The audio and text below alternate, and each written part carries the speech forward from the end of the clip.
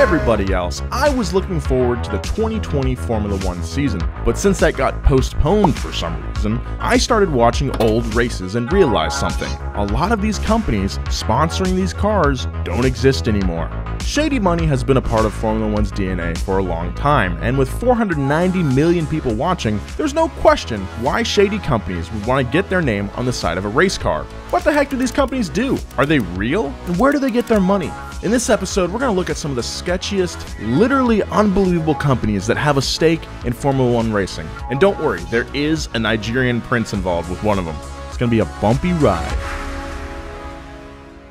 Hey guys, one more thing. We have a new sticker pack available for pre order. It is the sticker pack available on donut.media. It's available for pre-order. Five stickers, and it's Mo Power Baby in sticker form. I'll just show you. There you go. Those are the stickers. You got Mo Power Baby on board. That's probably my personal favorite. You got a white one, a black one. This one's very cool. Uh, and then this looks kind of like the Mor Moroso font, which I think is pretty awesome. Mo Power sticker pack, $12, five stickers. Pretty awesome. More fun than you could ever imagine. The Mo Power sticker pack on the donut store. Go check it out. The cost of racing is insane. Formula One teams require hundreds of millions of dollars in order to compete every season. The amount of funding a team can secure directly correlates to how much a team wins. That's just how F1 works. It's the way most sports work, frankly. More money, better engines, better drivers, Papa John's. Jeff Baseball.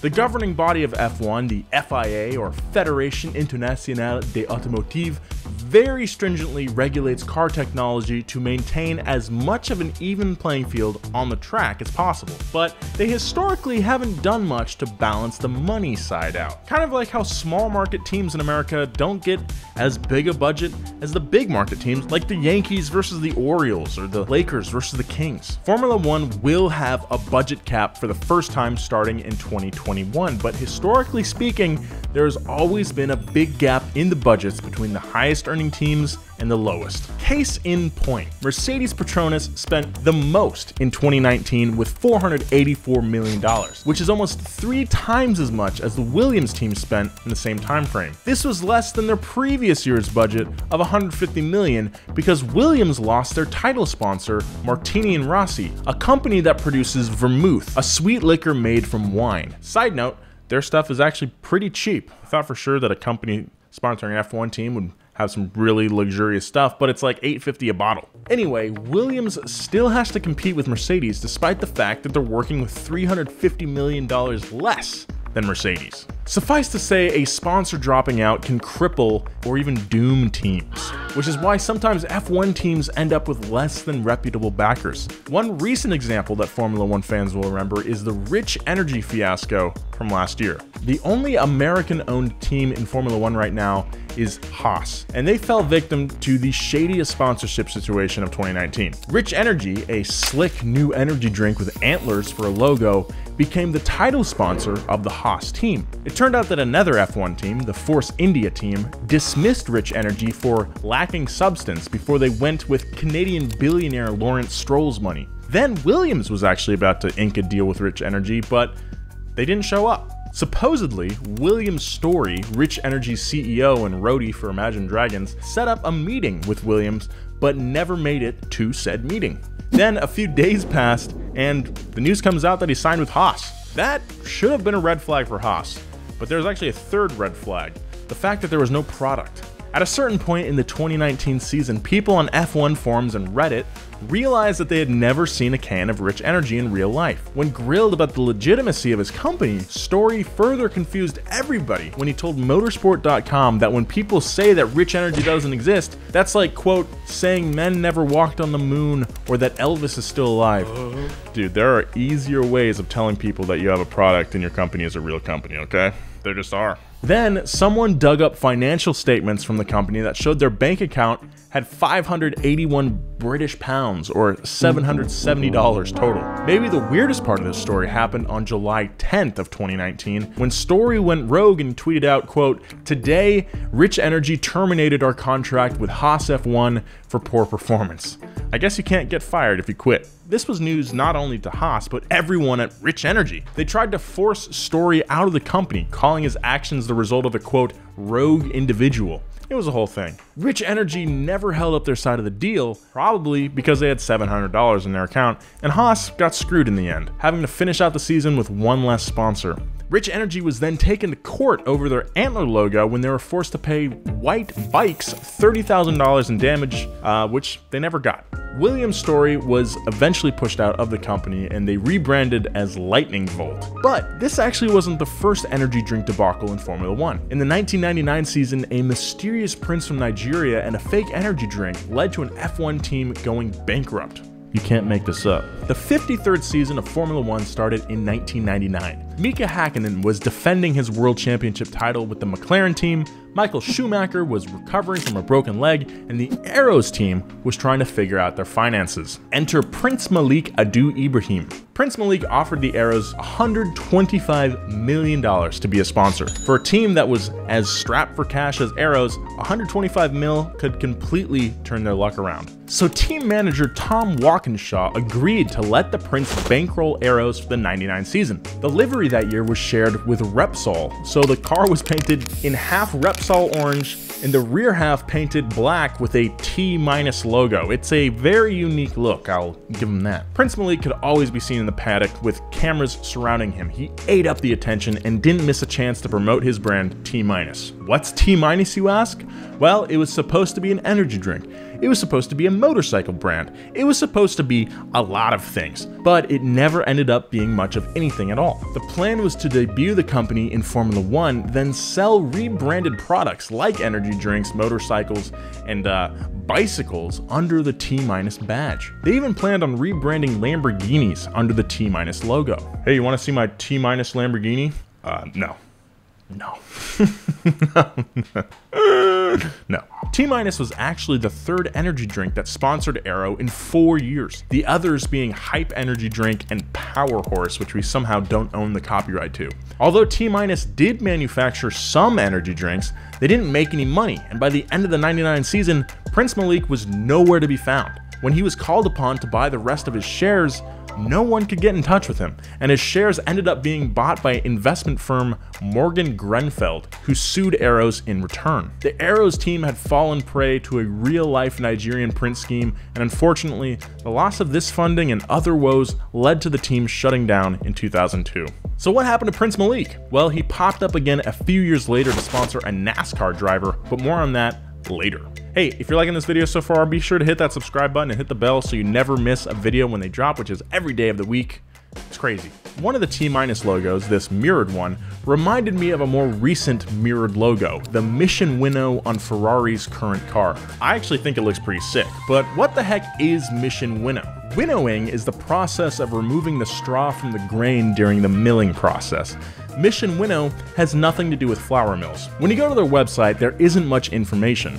Not any useful information anyway. It's full of vague business terms and it almost feels like a parody of a corporation. Just listen to this, quote, innovating and investing in an open dialogue, bringing people and businesses closer together, creating a mutually beneficial ecosystem. Their Twitter sounds like if a bot was programmed to jam as many corporate buzzwords into one sentence as possible. A little further digging and I found out that Mission Winnow is pretty much a shell company for Philip Morris International or PMI. You know, the people that own Marlboro. Cigarettes. Philip Morris has been in Formula One for decades, so why is it Mission Winnow and not Marlboro?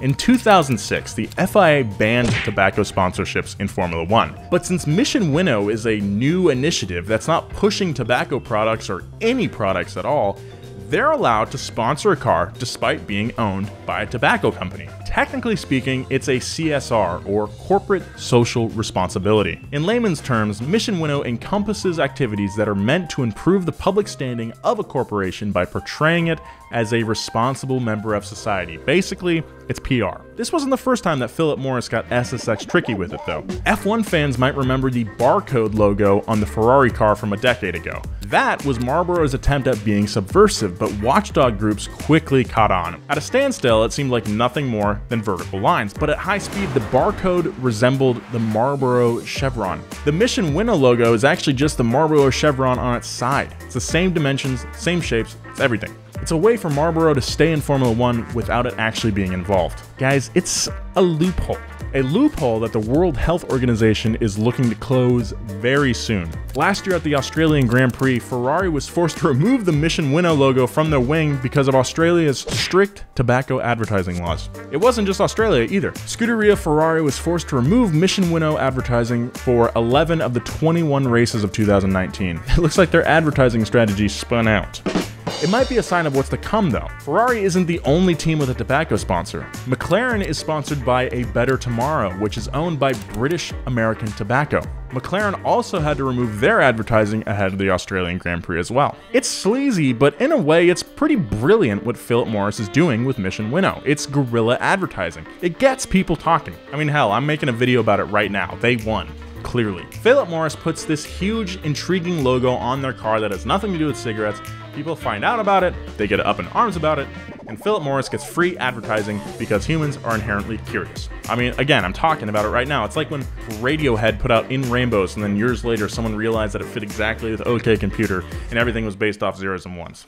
It's exactly like that.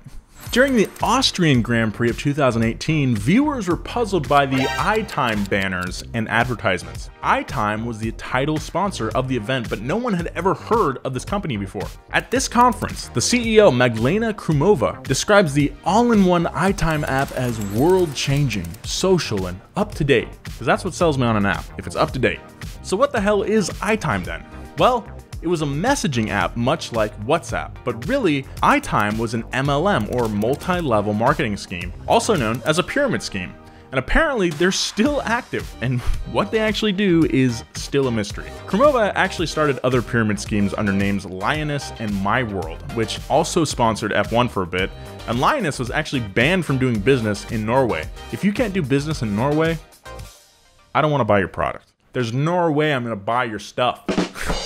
If there's one type of person that Formula One attracts, it's old guys with a lot of money. That's probably why one of the sponsors of the 2018 Singapore Grand Prix was Sugarbook, a dating app that matched younger sugar babies with older rich men. Although they never sponsored a car, Sugarbook was set to co-sponsor a party at a bar hosted by Williams title sponsor Martini. That party would have been Pretty gross had it not been cancelled, probably because it would have been a PR nightmare for Martini and probably Williams as well. Look, I'm just a schmuck, but this is as good a time as any to bring up ethics in F1. For a billion dollar multinational corporation, Formula One gets away with a lot of less than perfect behavior. It exists in this weird dichotomy, okay?